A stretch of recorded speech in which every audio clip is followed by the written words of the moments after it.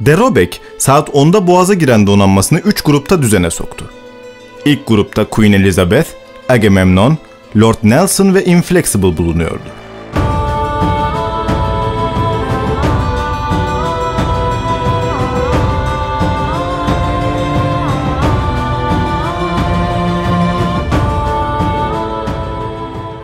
Birinci Dünya Savaşı Tarihler 19. yüzyılın sonunu gösteriyordu. Avrupa'nın tek dişi kalmışları amansız bir silahlanmaya gitmişlerdi. Bu silahlanmanın sonucunda koca cihan iki ayrı güç merkezinde toplandı. Rusya, Fransa ve İngiltere'nin başını çektiği yapılanma itilaf devletlerini oluştururken, sömürgeleri olmayan ve sonradan gözünü açıp pastadan pay almaya kalkan Almanya ve İtalya bir taraftaydı. İttifak grubu olarak adlandırılan ekipte Rusya'nın baskısından bunalan ve çok uluslu yapısıyla dikkat çeken Avusturya Macaristan'da yer alıyordu. İlişkilerin gitgide Arap saçına döndüğü, ortamın giderek kızıştığı ve savaş naralarının atıldığı bir vakitte İngiltere'nin vaatleriyle aklı giden İtalya taraf değiştirdi. Almanya ise birçok avantajından dolayı ve en önemlisi de savaş alanını genişletip yükünü azaltmak adına Osmanlı İmparatorluğu'nun yanında görmek istiyordu. Osmanlı gerek içinde bulunduğu yalnızlıktan kurtulmak, gerek yakın dönemlerde kaybettiği savaşları telafi edebilmek maksadıyla savaşa girmeye karar verdi. Başta İngiltere'nin yanında savaşa girmek istediyse de istenmemesi ve ittifak bloğunun kucağına itilmesi üzerine zaten uzun zamandır yakın ilişkiler kurduğu Almanya'nın yanında yerini aldı. Damarda durmayacağı açık olan kan, Avusturya Macaristan veliahtının Bosna'da suikaste uğramasıyla 1914'te akmaya başladı. 1914 sonlarında Kafkas cephesinde Erzurum, Köprüköy ve Azap saldırılarının Türklerin lehine geliştiği bir sırada Rus çarı 2. Nikola, hali hazırda savaştığı Türkiye'nin zayıf bir noktasında cephe açılması ve kendisine yardım edilmesi için İngiltere'ye bir çağrı yaptı. Çar'ın teklifinin Londra'da tartışıldığı sırada Çanakkale'ye bir cephe açma fikri İngilizlerde özellikle de Winston Churchill'de belirmişti. Britanya Bahriye Nazırı olan Churchill, Çanakkale Boğazı üzerine gidilmesi konusunda ısrarcıydı ve Rusya'nın isteğiyle gerekli koşullar oluşmuştu. Fransa da Osmanlı pastasını İngiltere'ye tek başına yedirmek istemediğinden saldırıda yerini alacaktı. Yenilmez armadalarını yüzen çelik kulelerden oluşturan ihtilaf kuvvetleri Çanakkale Boğazı'nı alarak bir taşta birçok kuş vurma peşindeydi. Boğaz zorlanmadan bir iki günde geçilecek, İstanbul kolaylıkla alınacaktı. İstanbul'un alınması hem tüm dünyada yankı uyandıracak hem de Osmanlı'nın beyni olan şehir düşünce Osmanlı savaştan çekilecekti. Bu gösteri karşısında tarafsız olan Bulgaristan ve Romanya, itilaf bloğuna katılacak ve nihayet Almanya bir ateş çemberine alınacaktı. Bunun yanında itilaflar Boğaz yoluyla Rusya'ya yardım edecek, onları Bolşeviklerden kurtarıp savaşa tekrar sokacaklardı. Bunların hepsi itilaf devletlerine daha savaşın başında zaferi getirecekti. Bu ağız sulandırıcı plan İngilizlerin hoşlarına gitmişti ve tersi bir ihtimali düşünmüyorlardı bile. Sonuçta onlara göre Osmanlı Türklerinin çağı çoktan kapanmıştı. Top ve mayın Osmanlılar Boğaz savunmasını üç ayrı tahkimat şeklinde organize etmişti. İlk kısım dış tahkimattı. Seddülbahir, Ertuğrul, Kumkale ve Orhaniye tabyalarından oluşurdu. 29'da top mevcuttu. İkinci kısım ise hareketli 28 obüs, 8 dağ topu ve 10 havandan oluşan orta tahkimattı. Üçüncü kısımda boğazın kilidi olan merkez tahkimattı. Adını mıh gibi ezberlediğimiz ve bir neslin mezar taşları olan Namazgah, Hamidiye, Dardanos gibi tabyalar bu kısımdaydı. İrili ufaklı 137 top bu tabyaları ateşleriyle destekleyecekti. İtilaf donanmasının saldırı planını Amiral Cardin hazırlamıştı. Donanma ilk iş olarak uzaktan atışlarda dış tabyaları kısa sürede devre dışı bırakacaktı. Plana göre hemen akabinde merkez tahkimatlar susturulacak, Nara ile Çanakkale arası temizlenecekti. Oradan da Verenini İstanbul. Osmanlılar ise elbette hazırlıksız değildi. Çanakkale Boğazı imparatorluk için önemli olduğundan 17. yüzyıldan beri zaten önemli abluka ve savaşlara sahne olmuştu. O dönemlerden bu yana Boğaz'a gerekli kale ve tabyalar inşa edilmişti. Son büyük tahkimat ise 1880'li ve 90'lı yıllarda gerçekleşmişti. Çokça para sarf edilip eski tahkimatlar yenilenmiş, yenilenen tabyalar son model toplarla takviye edilmişti. Çanakkale imparatorluğun kalbine giden yoldu ve buradaki güç Avrupalıların tahmin ettiğinden daha büyüktü. Belki de imparatorluk coğrafyasının en güçlü mevkii burasıydı. Osmanlı Genelkurmayı Boğaz savunmasında mayınlardan yararlanmaya önem veriyordu. Mayın hatları Boğaz'ın en dar yeri olan Soğanlıdere ve Dardanos önlerinde başlıyordu. Kıyılara da bu 10 mayın hattını koruyacak obüsler yerleştirilmişti. Harbiye Nazırı ve Genelkurmay Başkanı Enver Paşa sadece denizden yapılacak bir saldırıyla Çanakkale'nin geçilemeyeceğini bilmekteydi. Bu konuda inancı tamdı. İstanbul halkı arasında oluşan telaşı pek önemsemiyordu. Çünkü az önce de dediğimiz gibi boğazın geçilemeyeceğine inancı tamdı ve Türklerin dikkatle hesaplanmış planları ve her duruma karşı yedek planları mevcuttu. Mühendislik, matematik, strateji ve inanç galibiyeti elbette getirecekti. Enver Paşa savaşı çoktan kafasında kazanmışa benziyordu. Osmanlı sadece tabya ve mayınlarla tedbir almış değildi. Almanya'dan gelen Amiral Usedom savunma hazırlıklarına refakat ediyordu. Çanakkale'yi korumakla görevli 1. Ordu'nun başına Liman von Sandas geçirilmiş, İstanbul'u Karadeniz'den korumak maksadıyla düzenlenen 2. Ordu'nun başına Vehip Paşa getirilmişti. Boğazları ve İstanbul'u koruyacak bu iki ordunun mevcudu 200 bindi. İtilaf devletlerinin boğazı geçerken tabyalara asker çıkarması halinde mevzileri korumak için iki güç görevlendirilmişti. Birincisi askerleri top mevzilerinde yer alan ve direkt genel kurmaya bağlı olan Çanakkale Müstahkem Mevki Komutanlığı'ydı. İkincisi ise 1. Ordu'ya bağlı 13. Kolordu'ydu.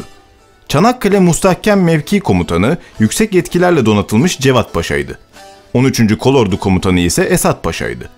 Kara savaşlarında adını duyuracak Mustafa Kemal ise Tekirdağ'dan getirilen ve 13. Kolordu'nun genel ihtiyat kuvveti olan 19. Tümen'in komutasını almıştı. Bu kişiler isimlerini tarihe yazdıracaklarını elbet o an bilmiyorlardı. Savaşa 5 kala. 20'si devasa savaş gemilerinden oluşan 100 parçalık yenilmez armada Şubat 1915'te Boğaz önlerine vardı. İlk saldırı için 19 Şubat tarihi seçilmişti. Bu tarih öylesine seçilmiş bir vakit değildi. Bu tarih daha önce yaşanmış bir olayın yıl dönümüydü. 1807 yılının 19 Şubat'ında İngiliz donanması Amiral Duckworth komutasında Çanakkale Boğazı'nı geçmişti. O tarihe nispetle böyle bir gün bilerek seçilmişti.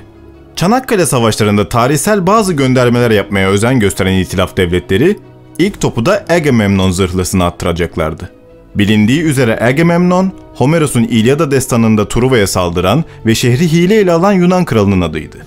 İtilaf devletlerinin kendilerini İlyada destanının Truva'yı zapta gelen kadim Yunan ordusu Türkleri Truvalı olarak görme fantezileri mevcuttu. Popüler bir ifadeyle onlara göre Aşils ve Hektor bir kez daha karşı karşıya gelecekti. Hatta bu durum Türk tarafını da etkilemişti. Yeni mecmuada yayınlanan bir yazıda bir münasebetle ilgili şöyle bir cümle vardı. Turva bir hayaldi. Çanakkale ise gerçek. Göndermeler yapan sadece itilaflar değildi. Bu sırada Beylerbeyi Sarayı'nda tutulan 2. Abdülhamit, kendisini Bursa'ya nakletmek için gelen Talat Paşa ve yanındakilere red cevabı vermiş ve Doğu Roma'nın son imparatoru Konstantin'e gönderme yapmıştı. Eski sultan, biraderimiz sultana söyleyiniz. Ecdadımız Fatih Sultan Mehmet İstanbul'u alırken Bizans İmparatoru surlarda savaşarak can verdi. Ben ondan daha az haysiyetli değilim. Hiçbir yere gitmiyorum. Ecdadımızın şerefli namına istirham ederim. Kendisi de gitmesin demiştir. Bu İkinci Dünya Savaşı'nda Hitler'in İngiltere'yi bombalarken Kral George'un Kanada'ya nakline itiraz etmesiyle aynı fedakarlıktı. Cardin planının uygulanmasına 19 Şubat saat 10'da başlandı. Toplam 6 zırhlı ilk atak için görevlendirildi. Bu gemiler 10 bin ila 12 bin metre mesafeden bataryalar üzerine ateşe başladı. Türk bataryalarının menzili o kadar uzun olmadığı için şimdilik susuyorlardı. İtilaf gemileri bombardıman için 6-7 bin metreye yaklaşınca Türkler karşılık vermeye başladı. İki itilaf gemisi ağır seviyede isabet alınca Amiral Cardin saat 17'de geri çekilme emri verdi. İngilizlerin dış tabyaları bir günde yok etme planı bir anda suya düştü. Savaş şartlarının elverişli olmamasından dolayı itilaf donanması ikinci saldırıya ancak 25 Şubat'ta başlayabilmişti. İkinci saldırıya 12 büyük zırhlı katıldı. Osmanlı bataryaları mevzilerine giren rakibe şiddetle karşılık verdi. İki gemiye büyük hasar verdiler. Ancak dış tabyadaki bataryalar İtilaf donanmasının yolundan edecek güçte değildi. İtilaf gemileri yollarına devam ettiler. Yoğun ateşe dayanamayan tabyadaki askerler iç kısımlara doğru çekildi. Bunun üzerine İngiliz ve Fransızlar 25 Şubat harekatının sonuçlarını görmek için tabyalara asker çıkartıp durumu kontrol altına aldı. Türk dış tabyalarının susturulma işi bu şekilde halledildi. Daha sonraki günlerde ise planın ikinci ve üçüncü aşamalarına yani iç tabyaların yok edilmesine geçildi.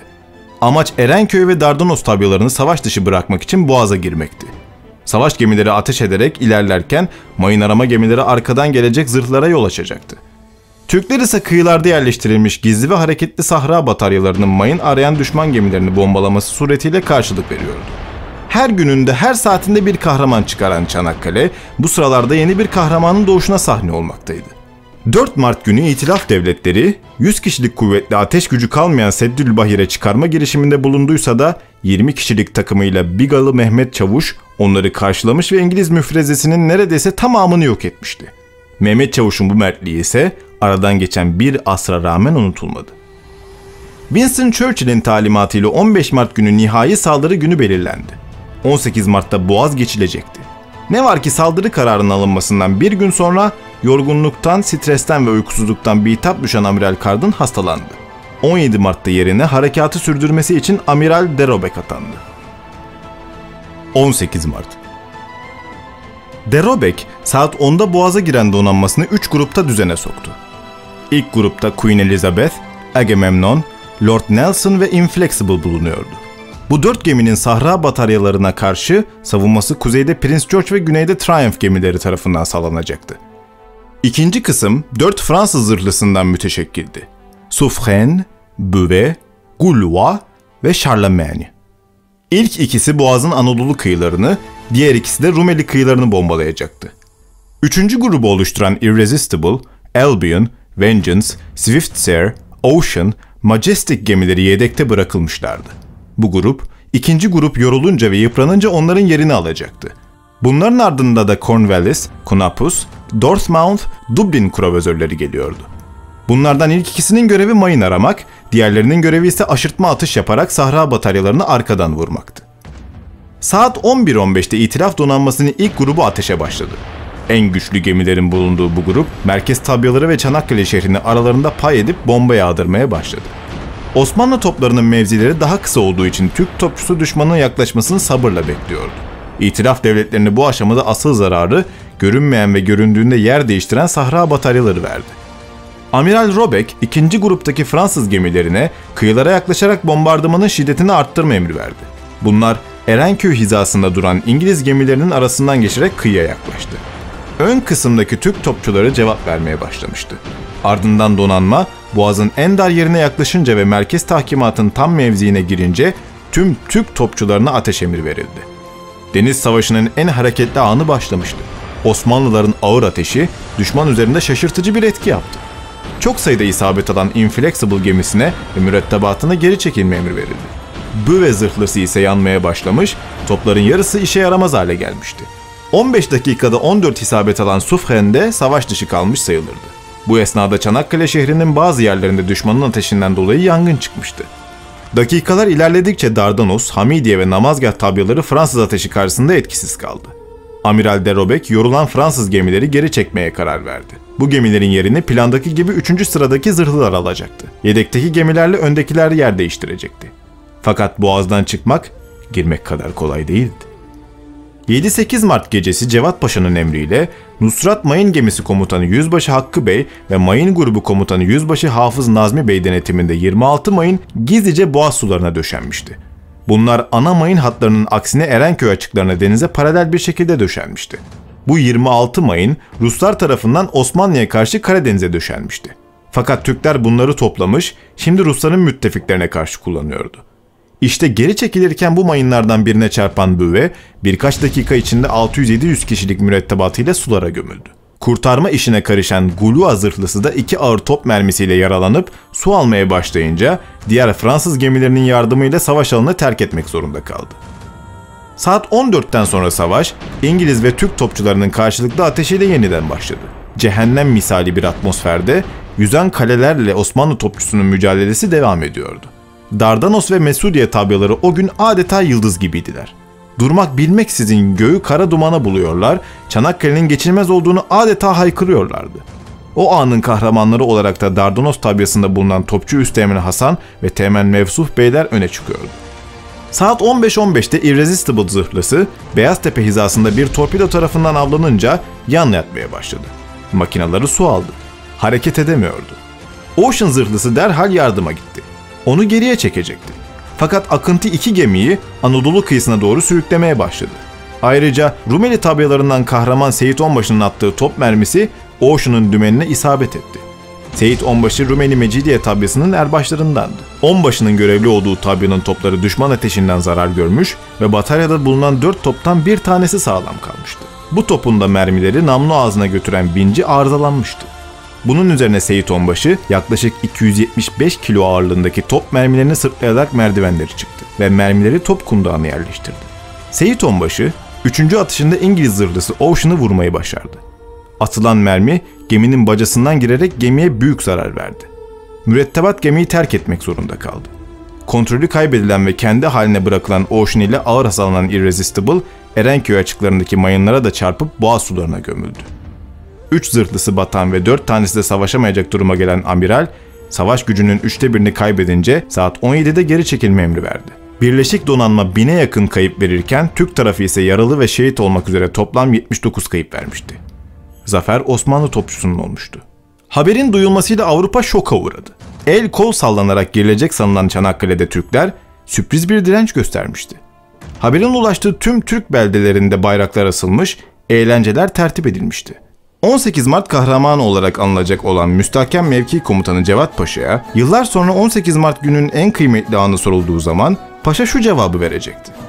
O gün en kıymetli an güneşin son ışıklarıyla boğazdan perişan halde çıkmakta olan düşman filosunun görünüşüydü.